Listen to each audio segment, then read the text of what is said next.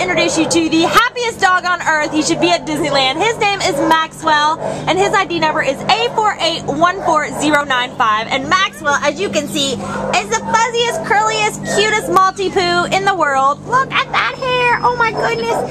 He is about a year old, so he's really just a puppy, this guy. And he came in as a stray on April 1st from El Monte. Now, he weighs 14 pounds under there. He might look fluffier, but he's still pretty small.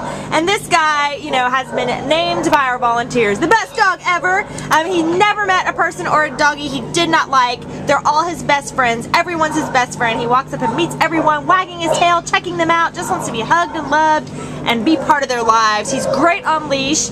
And um, if you know anything, because he's a Maltipoo with the poodle in there, you know, he's got some hypoallergenic qualities about him. So, you know, if you are a person who's like, oh, I love dogs, but I'm kind of, you know, allergic a little bit to them, then this is a good choice for you. He is going to be the most amazing dog in any situation, a perfect, perfect family dog.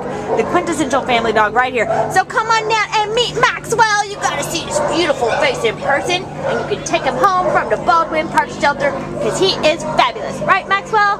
Bye-bye, Fuzzy Wuzzy Maxwell!